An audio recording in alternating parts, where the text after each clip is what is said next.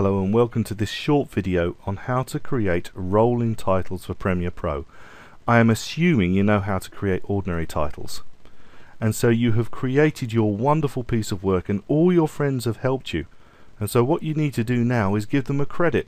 My particular shot is walking through the bluebells in Otley Chevin with my little dog Scampy.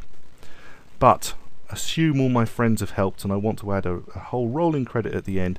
How do I do it? Okay, it's very simple, but there are a few tricks that once you know them will make it so much easier. The first thing you need to do is you need to click on your bin. If you've created one, you create new bins or new folders here. Click on your bin for titles. If you've got a well organized project panel, put everything into bins because that way you will save an awful lot of time looking for things.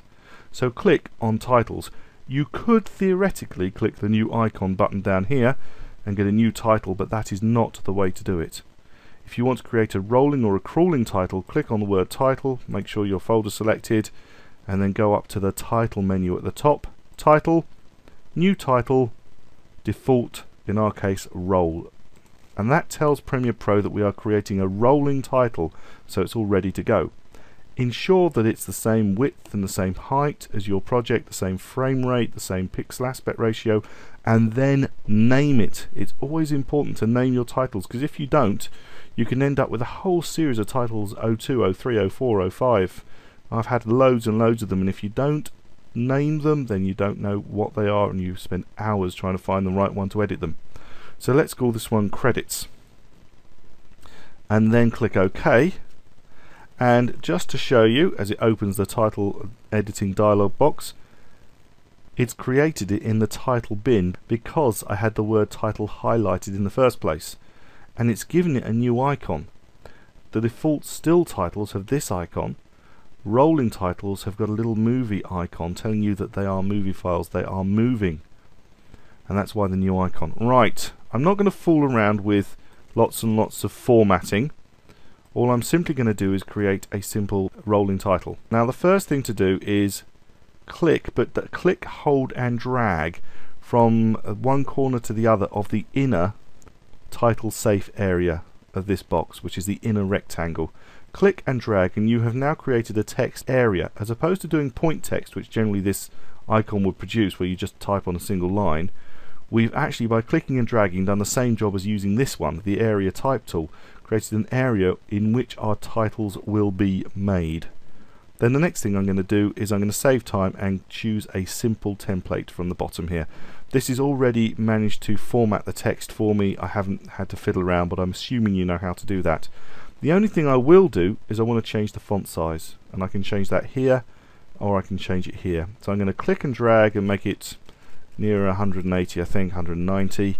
Then you do need to click back in your area to get this cursor flashing again and then we're ready to start typing. So, Fred was a great help, as was Eric, Jimmy, John, Emma.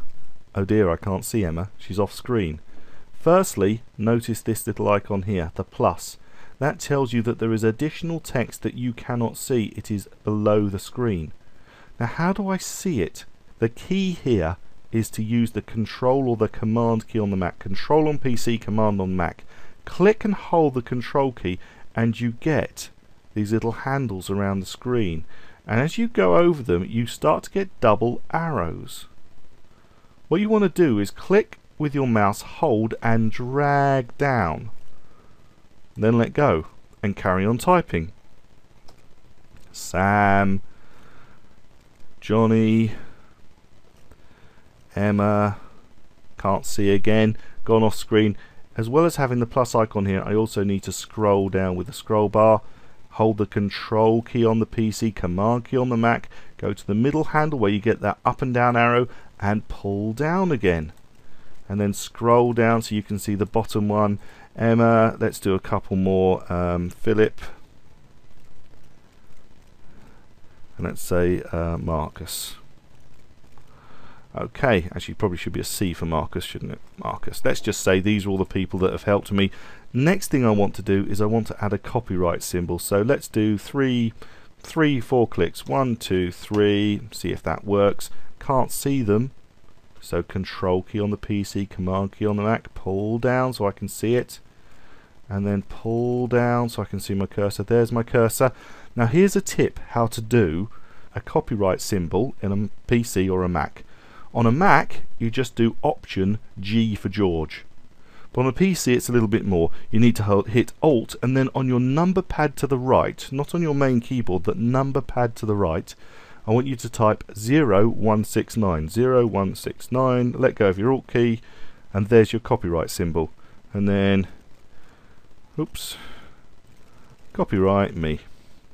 There you go. I have now created my little bit of rolling text it looks okay. What I'm going to do though is I'm going to add in a couple of lines underneath. One, two. Can't see them. There's that little icon again, so I'm going to hit the control or the command key. Pull down. Have I got to the end? I haven't quite got to the end, so pull down again. There, I can see my cursor. There. Now, that looks pretty much okay. I'm going to actually pull this to the bottom line, and you'll see why. If you pull it to the bottom line, when it scrolls up it is going to be based on this line. So at the end when it finishes it's going to finish based on where you've pulled it to. Now if I look at this screen I can see that Marcus may well still be visible. So what I'm going to do is I'm going to actually add another line in there and I'm going to pull it down and I'm going to have a look and see if that's worked. Can I see my cursor at the bottom? I can't quite so I'm just going to pull it until I can see my cursor I don't know how everything's going to look when I finish. That looks to me like it's going to be okay. Pulling all the way through, that looks like it might well work. Now, if I want to reformat anything, I can click anywhere inside here and then do Control A on a PC, Command A on a Mac, selects everything, and then I can change it. So, for instance, I can center all the text, and I can change my my selection. So I might say want to change from the one that I've got to something like Look at this one here. That looks a little bit more interesting. There you go. I've changed it. Still looks okay. Brilliant. That's what we want. It's all ready to go, except I need to do one more job in this dialog box. There's an icon here called the roll crawl options. Click on the roll crawl options and a new dialog box comes up. Firstly, it tells me what sort of title I've got. Already, as you can see, roll is highlighted. Then there are these bits at the bottom. Now I can choose to have my titles start off screen and end off screen if I wish. I would like my titles to start off screen, so I'm going to click the start off screen. Then I have three options. How do I want my title to ease onto the screen? Do I want it to start rolling very quickly at full speed, or do I want it to accelerate as a car would accelerate from a standing start going faster and faster? Well, actually, it doesn't matter to me. It's off screen, it can be going at full speed and come on screen at full speed, that's fine. But easing out, how would the car brake and come to a stop? How do the titles brake and come to a stop? Does matter. I don't want them to jerk to a sudden finish because that's quite amateurish. I want them to look professional, so I want them to ease out. I want them to slow down as they come to a final stop. So I need to put a figure in here. The figure you put in here is based not on seconds but on frames. I want it to slow down over 2 seconds. I am PAL, that is 25 frames a second, so therefore I'm putting 50 for 50 frames in there. If I was American and I was using NTSC, which is near enough 30 frames a second, I'd have put 60 in here. Post roll over here is how long is this title going to stay on screen for. I want it to stay on screen for 3 seconds at least. Now that means I have to do it again in frames. For me, which is PAL, 3 times 25, 75 frames. Then I can click OK. Then I can shut off this dialog box. I don't need to save anything because it's all done. And there is my title all ready to go. It is synthetic. It's not linked to my timeline in any way until I put it there and I can put it anywhere I like. So if I want, I can put it over my video and I can actually have a look at my whole thing here. But actually what I want to do is put it at the end of my video so I'm just going to put it at the end then I'm going to zoom in with this little bar here just pulling in so I can see now I know that my video my video credits are at least five seconds long because it's slowing down over two seconds and stopping over three So I need at least five seconds and then I need some time for the other credits to come on screen. So I'm going to pull it out so it's longer than five seconds and then I'm going to preview my footage by hitting the spacebar. Then up they come at a reasonable speed, that's not bad at all. And copyright me, slowing down to a beautiful stop. Exactly what I wanted, perfect. If I want them to go quicker, you simply shorten your titles. Now look at them. Comes up to the end of the film and the titles go up screen a lot quicker and slow down and of course you can make them even quicker than that by just making it shorter. The speed of the title is always dependent on the length that you make this title dialog box here. So if we want them nice and slow I think I'll stick them back out here and that looks pretty good to me. Let's touch one more time.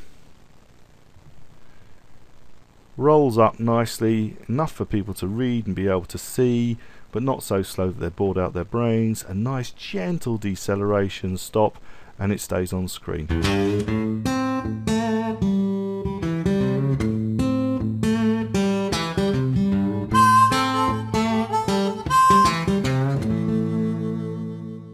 I'm Andrew Devis and I hope you found this useful.